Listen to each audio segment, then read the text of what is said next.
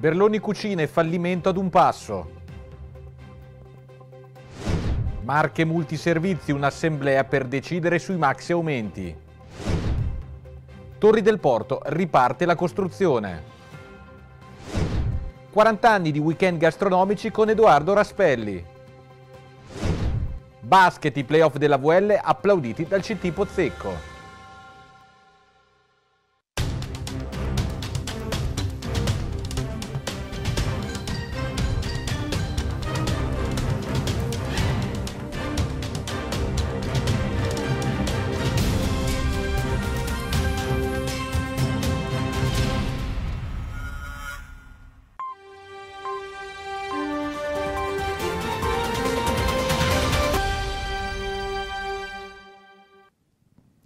Buona serata a tutti voi pubblico di Rossini TV, ben ritrovati al nostro spazio informativo della sera, ben ritrovati a Rossini News, il telegiornale del canale 80 che in questo martedì 9 di maggio apriamo occupandoci della crisi, forse irreversibile, di uno dei marchi storici del nostro territorio. È questione di ore infatti l'annuncio del fallimento della Berloni Cucine che dal 2014 ha iniziato un lungo periodo di recessione nonostante il più recente ingresso in società del miliardario taiwanese Alex Wang che ha versato nell'ultimo anno 2 milioni di euro per un piano di risanamento dell'azienda. La richiesta di concordato presentata in tribunale nel maggio scorso è stata però bocciata giovedì dal tribunale che non ha riscontrato i presupposti di continuità industriale dopo i lunghi mesi di produzione interrotta. I legali di Wang presenteranno ricorso, ma in caso avverso lo storico brand finirà all'asta. Grossa incertezza per gli ex dipendenti d'azienda che vantano arretrati per 540.000 euro. Ed ora ci occupiamo del caso di Marche Multiservizi. Ha infatti fatto discutere nell'ultima settimana la delibera che ha determinato i maxi aumenti di compenso al Consiglio di amministrazione, ma ora potrebbe anche esserci un dietrofront, il servizio. La patata bollente sugli aumenti dei compensi al Consiglio d'amministrazione di Marche Multiservizi non si raffredderà prima di fine maggio. Ieri la riunione del CDA d'azienda ha previsto la riconvocazione dell'assemblea dei soci per la fine del mese. Un'assemblea richiesta dal presidente di Marche Multiservizi Andrea Pierotti che avrebbe per oggetto la revoca dei maxi compensi che hanno toccato picchi di rialzo lordo fino al 68% nel caso dell'amministratore delegato Mauro Tiviroli e del 57% nel caso dello stesso presidente Pierotti. Il tutto con l'aggiunta di indennità ai consiglieri d'amministrazione passate da 9 a 15 mila euro annui. Un caso politico che ha fatto discutere nell'ultima settimana col presidente della provincia Giuseppe Paolini nel mirino in quanto ispiratore di un'approvazione di aumenti di 112.000 euro annui complessivi formalizzati dall'Assemblea dei Soci del 20 di aprile. Un ok che era arrivato con un pieno di voti di 50 sindaci a favore, ad eccezione dell'astensione dell'assessore comunale di Montelabate Pierluigi Ferraro. Ieri il CDA di Marche Multiserviti è stato preceduto da una lettera inviata allo stesso Consiglio dal sindaco di Urbino Maurizio Gambini che ha confermato il suo parere favorevole agli aumenti, ma al contempo ha chiesto l'annullamento della delibera che li ha approvati in quanto la discussione viziata dalla presenza in aula dei beneficiari degli aumenti. Per Gambini si è trattato di una inadempienza che ha condizionato interventi e voti dei soci. Ora l'Assemblea chiarirà se ci sarà o meno un dietrofront da quanto deliberato il 20 aprile. Sono ripartiti i lavori per realizzare le due torri d'appartamenti al porto di Pesaro. Dopo più di due anni di stop, Renco ha infatti avviato le attività propedeutiche per l'avvio del cantiere della società Nova Portum che prevede la realizzazione di due edifici progettati dallo studio Gaudenzi che sorgeranno al posto dell'ex consorzio agrario appunto demolito due anni fa. È stato completato lo spostamento dei sottoservizi e realizzata la base in cemento armato per posizionare la prima gru e nei prossimi giorni verranno realizzate le fondamenta per dare via all'attività operativa intensiva. Il progetto in fase di realizzazione è quello originariamente approvato con 63 appartamenti e 6 unità commerciali al piano terra. Rimaniamo a Pesaro dove negli ultimi giorni durante i lavori della realizzazione della pista ciclabile di Vismara sono emerse 10 cisterne ricoperte in fibrocemente contenente amianto.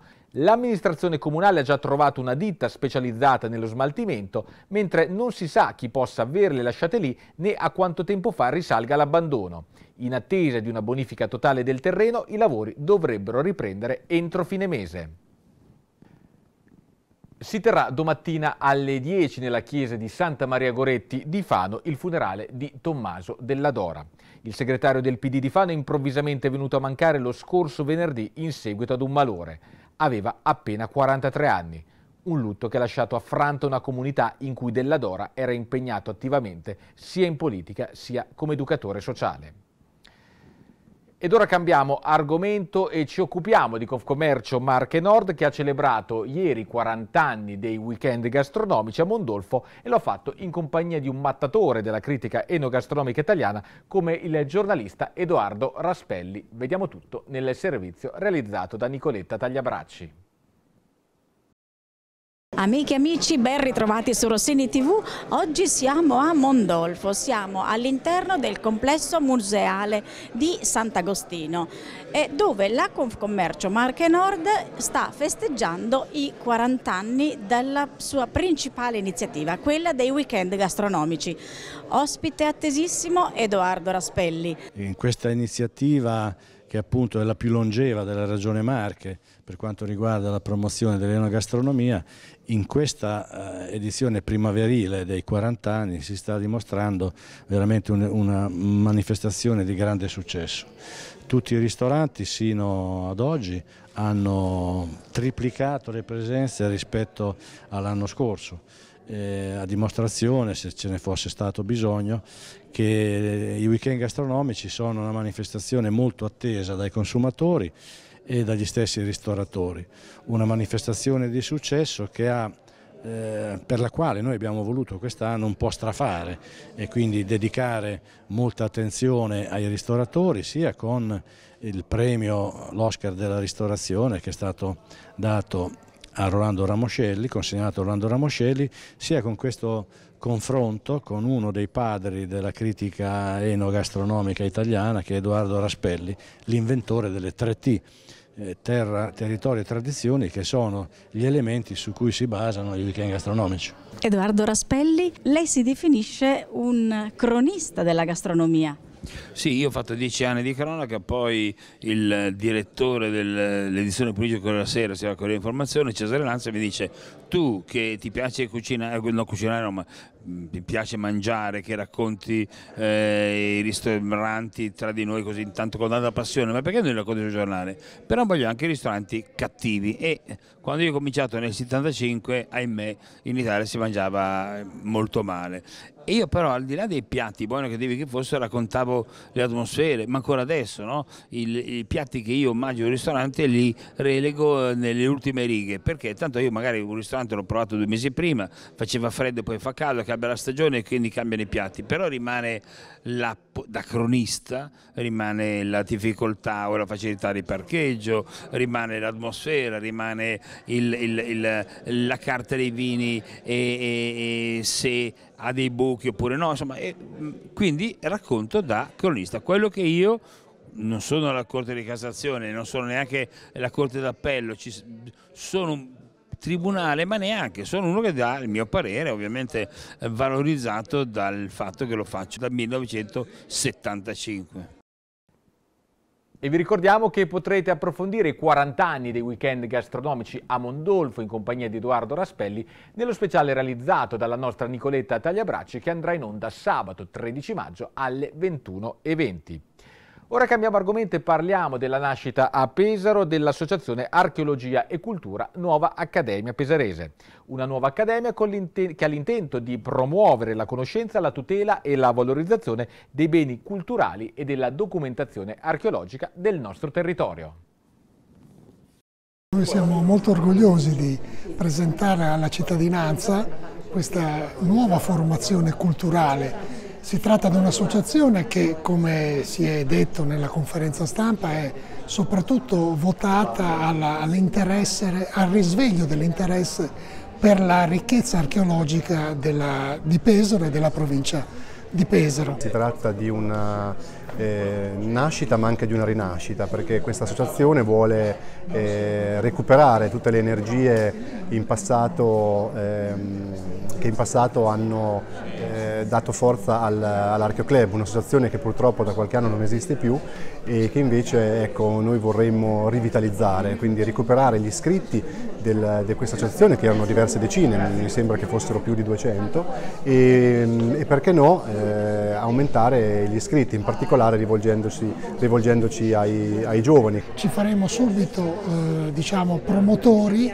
di un'iniziativa che è stata già avviata in passato ma che in questo momento un po' langue, cioè quella del recupero di alcuni reperti archeologici ritrovati nel territorio di Pesaro e della provincia di Pesaro che sono allocati altrove, in particolare al Museo archeologico di Firenze. Alludo e soprattutto al famoso Idolino che è una delle, delle diciamo, pietre preziose della ricerca archeologica sul nostro territorio. Nel panorama di Pesaro, capitale della cultura 2024, ha un ruolo quanto mai centrale Pop Sofia, che da un decennio è un faro nazionale su Pesaro in merito a tematiche legate alla filosofia. Il tema di questo 2023 sarà Amati Mostri. Il tema è Amati Mostri, Pop Sofia 2023 si presenta con il Minotauro di Pablo Picasso, l'unione di umanità e animalità per eccellenza. Ecco che vogliamo indagare questa attrazione e repulsione nei confronti del mostro. Il mostro chiaramente compare in tante narrazioni contemporanee nella cultura di massa e Pop Sofia lo farà attraverso conferenze e spettacoli per tre giorni, 7, 8 e 9 luglio nel centro di Pesaro. Parleremo dei mostri che amiamo e che odiamo e che forse sono molto più vicini a noi di quello che pensiamo. Una tre giorni fantastica che celebra tra le altre cose anche i 50 anni della scomparsa di Pablo Picasso e tanti altri elementi di gioco sul contemporaneo, da Dino Risi, elementi che dialogheranno sul cinema e come sempre eh, tutte produzioni originali e quindi anche diciamo, uno sforzo produttivo per cui siamo grati a Lucrezia Hermes Ercoli e anche tutte le persone che collaborano a vario titolo a questa manifestazione che ormai è completamente nel cuore dei pesaresi ed ha una radice solida a Pesaro pur essendo diciamo, un orgoglio marchigiano che tra l'altro ci proietta con forza anche verso la capitale italiana 24, verso un'edizione 2024 che sarà ancora più pop. Torna il tradizionale appuntamento con il Grand Tour Musei, l'iniziativa promossa dalla Regione Marche e dalla Fondazione Marche Cultura per il 13 e 14 maggio. In particolare a Pesaro sabato 13 maggio ci sarà la notte dei musei con i musei civici, il Museo della Bicicletta e la mostra Superbasket 45 al centro Arti Visive e Pescheria che saranno visitabili in notturna fino a mezzanotte.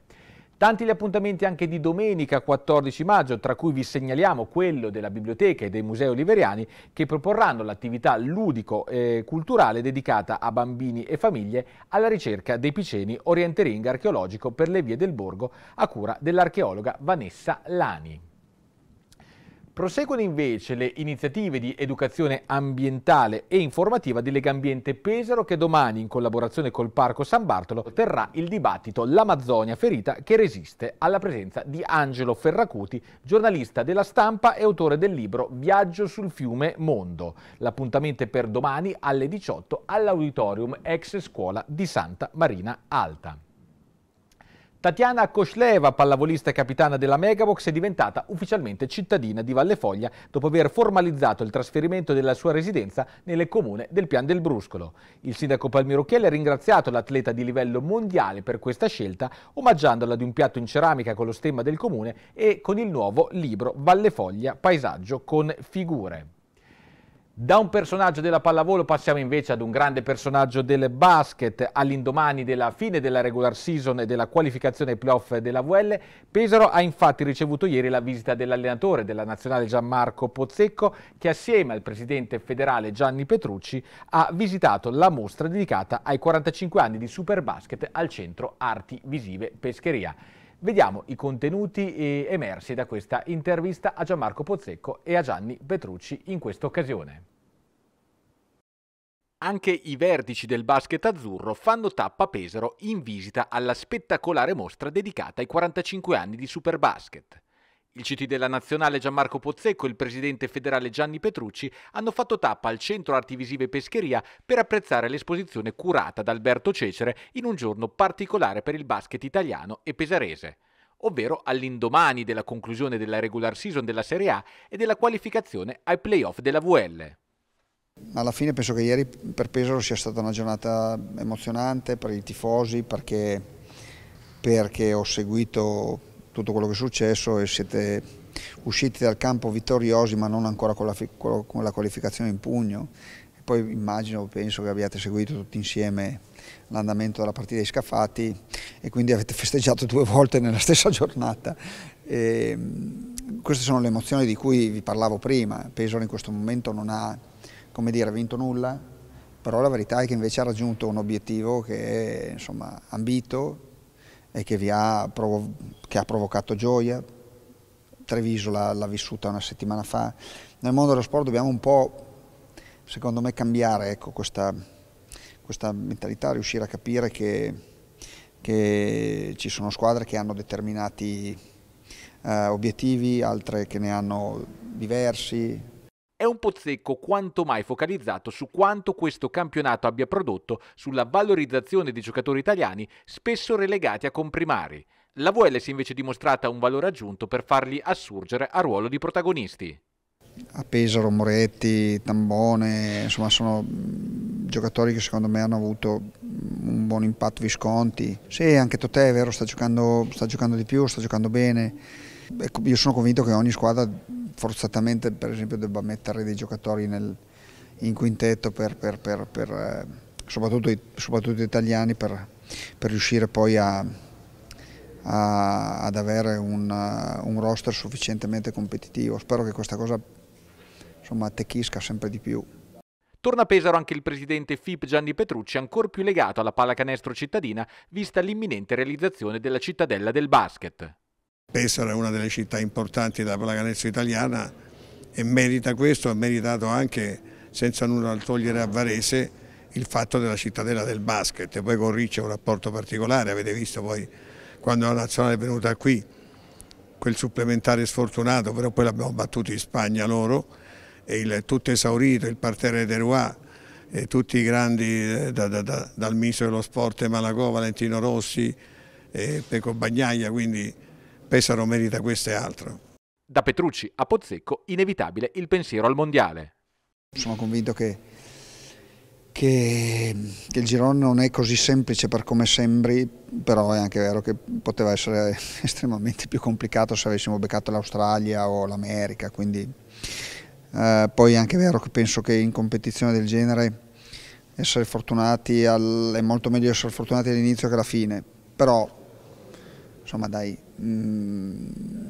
siamo soddisfatti di quello che è stato il sorteggio e siamo, sono convinto che mm, i ragazzi, i ragazzi che faranno parte dell'avventura dell azzurra emozioneranno per come l'hanno fatto mm, durante gli europei o a Pesaro, insomma tutti, siete stati tutti testimoni, seppur in una partita persa, penso che, che, la gente si sia divertita, si fosse divertita e, e, lo dico da un po', non dobbiamo essere così focalizzati sul risultato perché è vero che il risultato è importante, però è anche vero che secondo me le emozioni che, che una squadra di pallacanestro può regalare non sono sempre come dire, così condizionate dai risultati.